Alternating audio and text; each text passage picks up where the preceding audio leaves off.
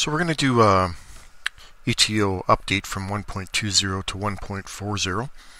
Um, as always, it's important that uh, Era 1 is run first before we do any major installs to ETO. Um, I've already, already done that in my case, so I'm not going to do it now. Uh, the other thing we need to do is uh, run the ETO spawn selector again, which is the uh, choice 1 stock spawn mode, and I'm going to do that. Okay, so that's complete. So now we're ready to uh, proceed with the 1.40 upgrade. And I have it here. So we'll double click on that.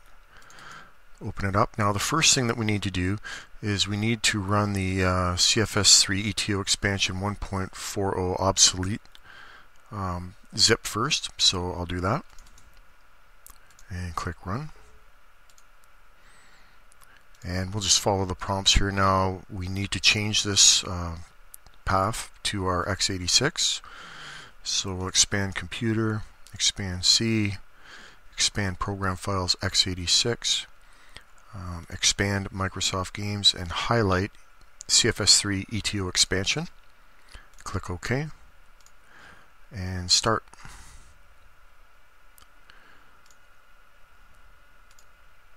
Okay, so the obsolete has been uh, run and uh, now it's time to run the actual uh, update. Which is here uh, update uh, revision 1.40 so I'll double click on that click run and this will just take a second to uh, unzip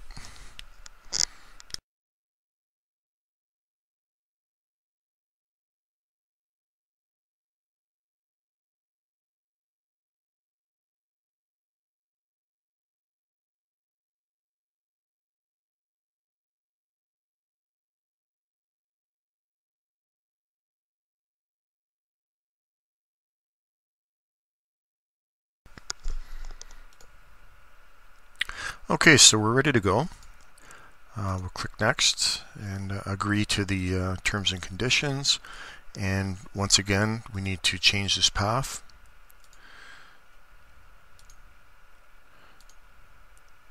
And we'll do the Microsoft Games and make sure we highlight uh, ETO expansion, click OK, and click next, and start. Uh, it's just a little prompt saying that some files are write protected uh, and we want to click yes to this. Uh, this will take a minute to run so we'll touch base when it's complete. Okay, so we've uh, that's completed and uh, the first thing we need to do is run the BDP zapper which is done. Uh, the next thing we need to do is uh, same process as updating uh, version 1.20. We need to go in and delete the view UI uh, file and uh, I'll do that now. So we'll go to uh, computer to C users. Uh, once again, we need to have the uh, show hidden files, folders, and drives enabled, which I have here. And we'll go to uh, your username. In my case, it's Jim. And app data, roaming, Microsoft, and CFS3 ETO expansion and we'll see the view UI. We'll delete that.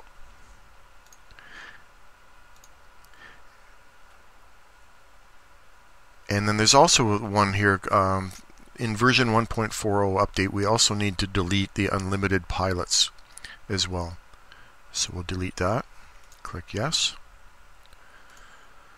And we're ready to run the game for the first time. Okay, so we're ready to uh, start the game for the first time. Uh, as always, after a major update or install like that, we have to run Era 1 first, so I'm going to do that now.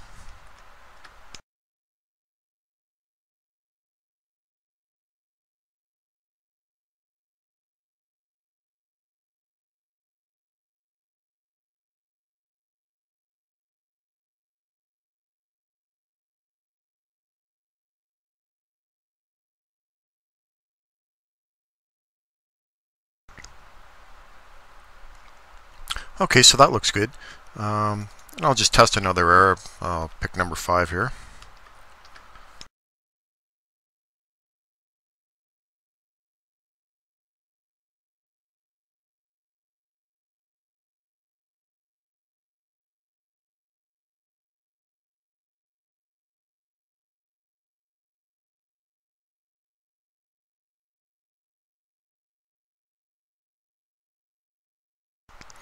Okay, looks good. So that covers installing the uh, ETO version 1.40 update onto uh, Windows 7 64-bit operating system. I hope this works out for you okay and uh, have lots of fun with the game. Thanks.